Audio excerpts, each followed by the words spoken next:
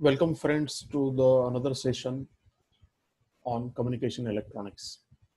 In this session, we'll be discussing about the modulation index in amplitude modulation. In this session, we will see what is modulation index, what is the formula for modulation index in AM, how it is possible to determine the modulation index practically, and we will also see the power relations in AM. Friends, as you know that you are viewing this session on my YouTube channel, Learn with Prakash Khanale. And do not forget to subscribe to the channel. So we know that in amplitude modulation, the carrier signal is changed in its shape. That is the original carrier signal has a fixed frequency and fixed amplitude but in amplitude modulation, you will find that the frequency remains the same, but the amplitude of the carrier signal is changed in accordance with the information signal or modulating signal. So you will find that in the amplitude modulated voltage, some crest and troughs are produced as shown in this diagram. Now, whenever we do certain modulation, then it is mandatory for us to determine what is the percentage of this modulation. And this percentage of modulation can be determined by using a parameter and that is being called as a modulation index. So modulation index in AM is a parameter that determines the amount of modulation. Modulation index in AM is defined as the ratio of maximum amplitude of modulating signal to the maximum amplitude of carrier signal.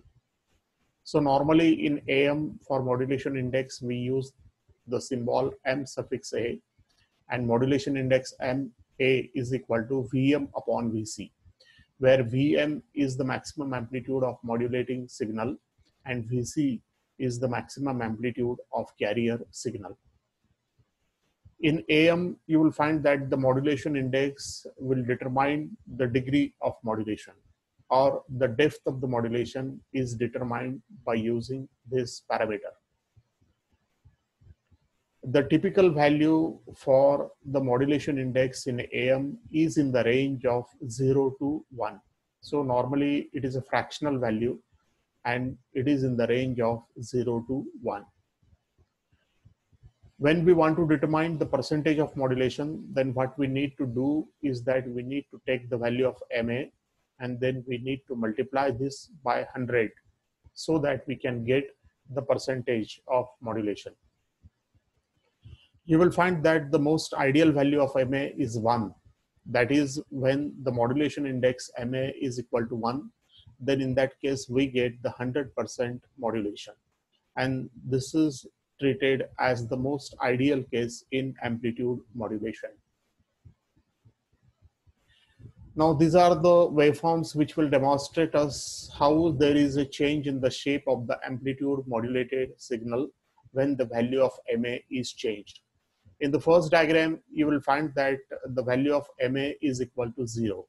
So when the value of MA is equal to zero, you will find that the amplitude of the carrier signal is fixed and there is no variation in the amplitude of the carrier signal.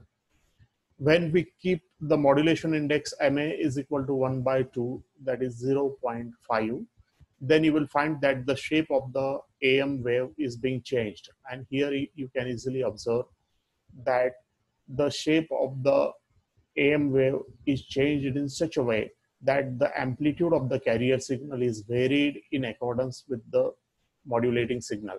So this envelope, this outer shape or this envelope of the AM wave is similar to that of the modulating signal. When we increase the value of MA to 1, then you will find that uh, the shape will get little bit of modified as shown in this diagram. So you will find that this minimum value of AM signal is being almost reduced to zero when the value of MA is equal to 1. So this is the case which is being treated as the most ideal case for amplitude modulation. If we further increase the value of MA in such a way that MA becomes greater than 1, then you will find that some kind of distortion is being produced in the amplitude modulated signal. So as shown in this diagram, you will find that the signal will be missing over here and it will cause a distortion. So as we have seen, the value of MA is equal to VM upon VC. So when you are keeping the value of MA is equal to one, it means that the value of VM, that is the maximum amplitude of modulating signal and the maximum amplitude of the carrier signal in this case is same. But when you increase the value of VM further to that of VC, then the distortions will be produced in the AM signal. Therefore, we should avoid this case. That is, you can increase, you can set the MA in such a way that it can have at the most a value one. So as shown in this diagram, whenever we find that the value of MA is greater than one, then there are some distortions produced in the amplitude modulated signal. And this case must be avoided. Now we can determine the value for MA practically. And for such determination, we can obtain an expression for measurement of MA. Suppose in the laboratory, you have set up an experiment and you can easily observe the amplitude modulated signal as shown in this diagram. Now, this is our center axis and you will find that from this center axis, this value is being called as Vmax. And this outer envelope it is actually a modulating signal and therefore from this line you will find that this signal is VM and this signal is also VM and this uh, from the trough to the center axis this value is being called as the V minimum.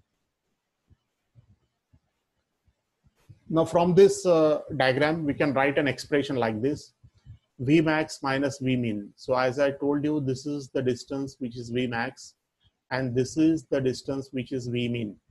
Therefore, Vmax minus v Vmin is just nothing but this much distance and that is being written as twice Vmin. Therefore, we can write Vm is equal to Vmax minus v Vmin divided by 2. Now, similarly, we can say that this is our VC, the maximum amplitude of carrier signal. So VC is just nothing but Vmax minus v Vmin, Vm and therefore VC can be written as Vmax minus Vm.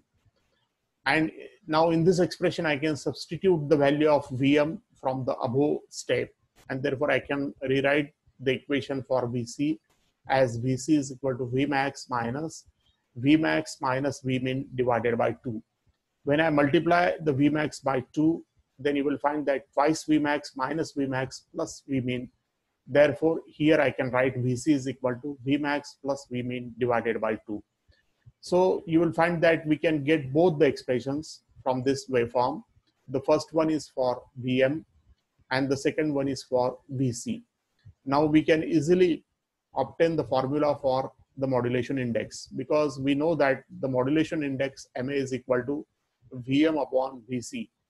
And therefore, when I substitute the value of Vm from this expression, and the value of VC from this expression, you will find that this 2, 2 will get cancelled and therefore I will get the expression MA is equal to Vmax minus Vmin divided by Vmax plus Vmin. That is practically when you observe such waveform on the screen of the cathode ray oscilloscope or CRO, then what you have to do is that you simply measure from the central axis this distance or this amplitude Vmax and then this distance or this amplitude V min. If you are able to measure these two amplitudes, then you take the subtraction of these two amplitudes in the numerator and then take the addition of these two amplitudes in the denominator and then determine the ratio and easily you can find the value for modulation index. Now let us go for some power relations in AM you will find that uh, when we go for the expression for the amplitude modulated voltage, then the expression for the amplitude modulated voltage can be given by the expression VAMT is equal to VC cos of omega CT plus MA VC by 2 cos of omega C plus omega M into T plus MA VC by 2 cos of omega c minus omega m into t. You will find that the first term will represent the carrier signal, the second term will represent the upper sideband, and the third term will represent the lower sideband. Therefore, whenever we want to compute the power in AM signal, then it is necessary for us to compute the carrier power, the upper sideband power, and the lower sideband power. And the total power will be the summation of all three entities, that is the carrier power plus the upper sideband power plus the lower sideband power. So in order to compute the power in AM signal, initially we need to compute the carrier power, then the USB power, and then the LSB power, and then we will add these terms together to get the total power in AM. Now we can easily compute the carrier power. The carrier power uh, is being written as PC is equal to, so P is for power, C is for carrier. And the formula for this is V square divided by R, where V is the maximum amplitude of carrier signal divided by R, where R is the resistance of the antenna to which this signal is coupled while taking V in this expression, we need to take the RMS value of the voltage. And therefore, what I will do is that the maximum value of the carrier signal is VC. I will divide it by root 2. So VC divided by root 2 square divided by R. Therefore, this equation will be VC square divided by 2R. So here you should note that the carrier voltage is a root mean square voltage or RMS voltage and R is the resistance of the antenna to which this AM signal is coupled. Now similarly we can compute the upper and lower sideband power. You will find that as far as the amplitude of upper and lower sideband is concerned, both the amplitudes are same and therefore the power in lower sideband and power in upper sideband is also same. So it can be given as it is equal to voltage square divided by R. But here also, the, while considering the voltage, we will take the RMS value of the voltage. Therefore, the maximum amplitude is MAVC divided by 2 divided by root 2. Root 2 here we are dividing because we want to get the RMS value. And whole square divided by R. So which is equal to MA square VC square divided by 2 square is 4 under root 2 square is 2. So 4 into 2, 8 R. So we will get the power in LSB and power in USB as MA square VC square divided by 8R. Now this relation, the power in the lower and upper sideband can be simply rewritten in the form of carrier power. So we know that the carrier power is VC square divided by 2R and therefore we can write it as MA square divided by 4 into PC. And therefore, the total sideband power, which is the power in upper sideband plus the power in lower sideband, which is equal to MS square divided by 2 into PC, where PC will stand for the carrier power. Now we can easily compute the total power. As I said, the total power is equal to PC plus PUSB plus PLSB, which is just nothing but PC plus P SB means power in sidebands. And therefore, you will find that when I substitute this PSB is equal to MA square divided by 2 into PC, then you will find that I can take the PC common and therefore in the bracket I will get 1 plus MA square divided by 2. That is the total power in amplitude of amplitude modulated signal is carrier power into 1 plus MA square divided by 2 that is the total power will depend upon the modulation index MA. If you consider the ideal case of modulation, that is when MA is equal to 1, then in that case, you will find that the total power will be 1.5 times PC because 1 plus 1 by 2, it will turn out to be 1.5 and therefore the total power can be written as 1.5 times PC. So total power uh, for AM signal when MA is equal to 1 is 1.5 times PC. Now we will go for the efficiency. you will find that the efficiency of the AM signal of the AM system in terms of the power consumption can be obtained. And for efficiency, we use the symbol eta or N, which is equal to power in sidebands divided by total power. So in the numerator, we have taken power in sidebands because our information or intelligence is only in sidebands. Therefore, the power in sidebands is important to us divided by the total power. So when I substitute the values for power in sidebands and total power, you will find that I will get the expression is equal to ma square divided by ma square plus 2. When you consider the ideal case of ma is equal to 1, then you will find that the efficiency will turn out to be 1 divided by 1 plus 2. That is 1 divided by 3. That is only 33% of the power is being used in order to carry the required information. So you will find that in AM, most of the power, that is 67% of the power is being utilized not to carry the information. So in a way, you can say that the AM system is not very efficient. So thank you friends for viewing the sessions. Hopefully you have understood the concept of modulation index and how to compute the power relations in AM. In our next session, we will discuss various amplitude modulator circuits where we will see how by using the electronic devices, we can achieve amplitude modulation. So thank you for viewing the sessions. And as I say, if you have any queries, then you always you can write it to me. Thank you all for viewing the session.